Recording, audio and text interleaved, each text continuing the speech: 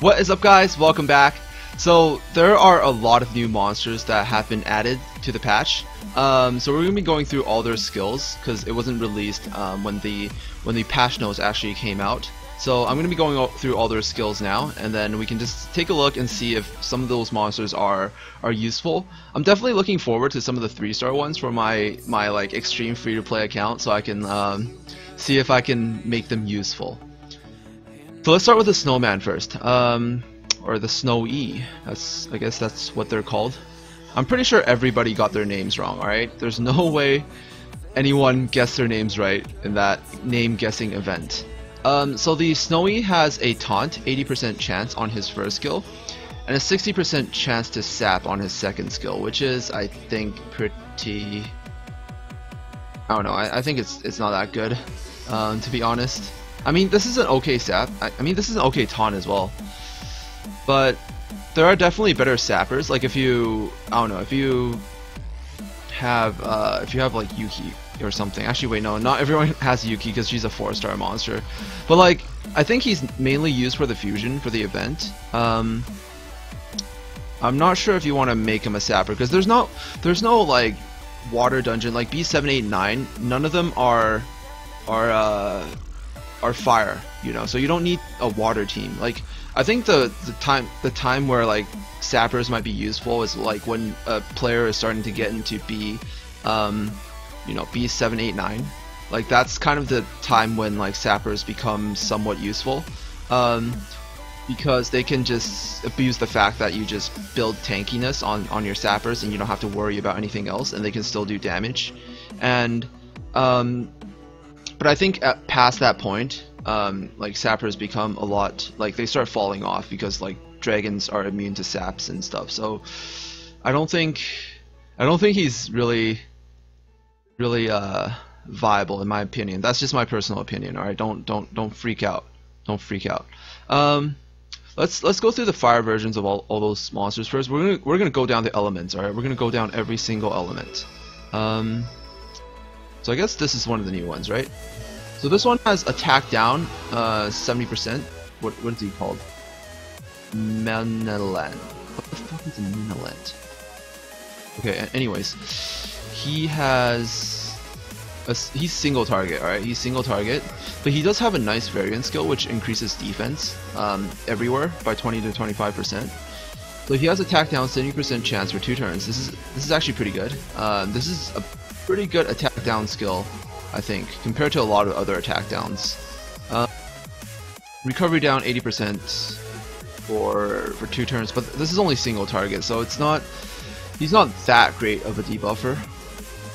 This is the Wormtail.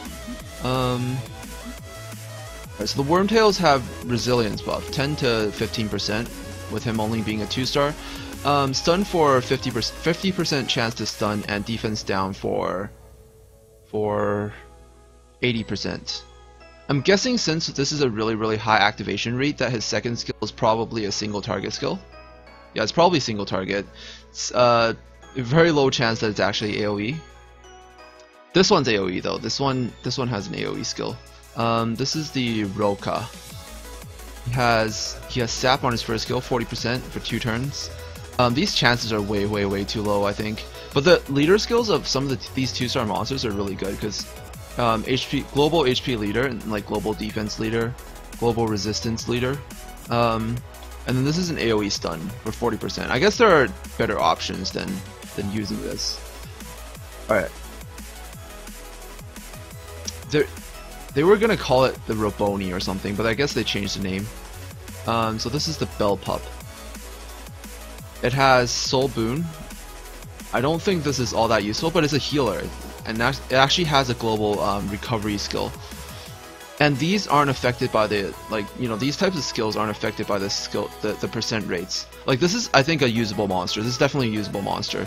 Um, also, Zeo um, increases SP gain, which means you can get more SP for no more nukes and all that, all that good stuff. And he also has like bonus recovery, which is really nice. Makes makes your heals heal for more. Um, this might be definitely usable on my on my free-to-play account. This might be one of the stronger fire healers. One of the stronger farmable fire healers, I think. Might be a really good monster for um, for farming B9 or something.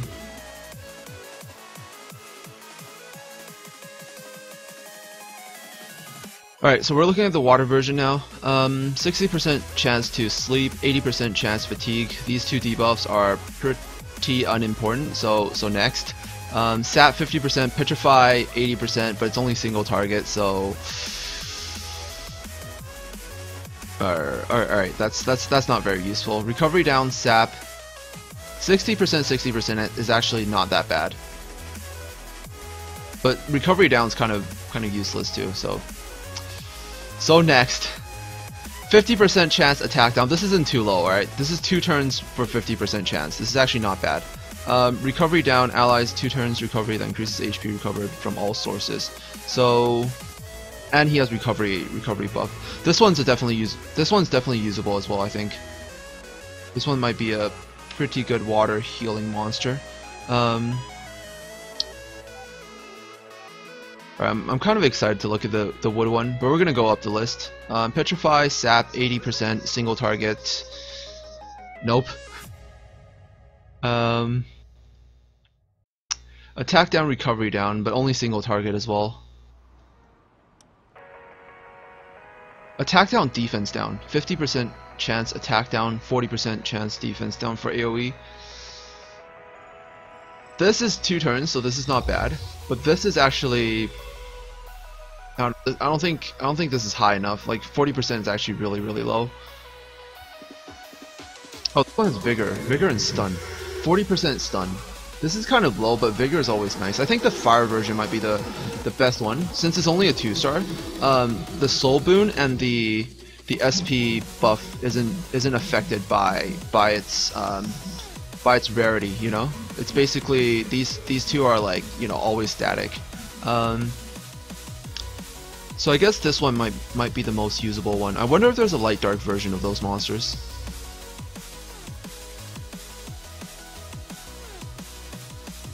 Nope, there isn't.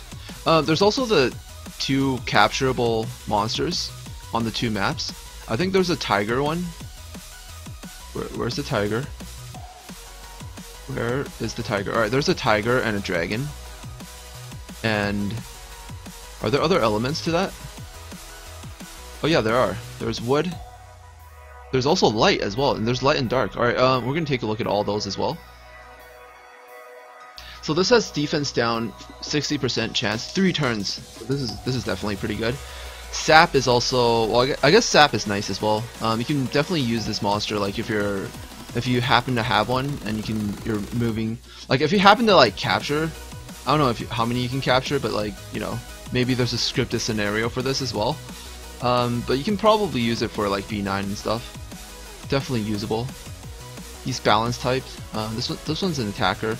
Stalker HP Siphon. Stalker's like a decent skill. It's, it's not the it's not the best um, attack passive skill, but you know it's it's still better than nothing. He also has an HP leader, so if he ha can happen to get him as a variant, that's also really nice. This one has an attack leader, like a global attack leader, which is really good as well. Um, taunt defense down. 70% chance. Yeah, 70% chance two turn death break for for AoE is actually pretty good. He's defender type, so you can you can use the taunt to um, absorb some damage. Holy shit, he has seal. Yeah, they're definitely introducing a lot more seal to counter the the stupid um, defense aggressors.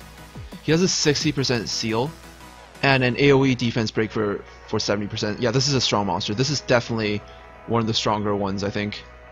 And he has uh, HP leader, if you can get him as a variant. I think we're going to definitely see a lot more of these in the arena very, very soon. Um, that is a really good PV PvP monster, I think. Predator stun. This is good. Predator 60% chance um, AoE stun, and Predator is like really, really strong attack skill. Although it's only a 4-star Predator, so, so it's only 30%. But he has attack type, so I guess I guess that's always good. Fatigue and Thirst, uh, next. I'm sorry for ignoring like those debuffs, but they're not really like you know they haven't been all, all that useful. Um, So this one's this one has sleep and hunter. I think the doorbell just rang. I'm gonna finish up very soon. Um, sleep is 100% sleep for two turns. Definitely useful. Hunter is really nice. Um, light monsters get 10% extra crit rate, so Hunter more crit damage is always really really good. Um, this one also has an AoE seal. Aggression. Defense aggressor with seal. Holy shit, an HP leader. Dude, anyone that gets this is living the fucking dream. Um, morale boost, attack down. I guess this is very similar to the Water Arthur, so it's I, I guess kind of like a mini Water Arthur. And this is uh, recovery down sleep. So I guess sleep is AoE sleep for one one turn is actually pretty good. Alright, so that's pretty much it. I'm gonna finish up here, and I'll see you guys in the next video. Peace out.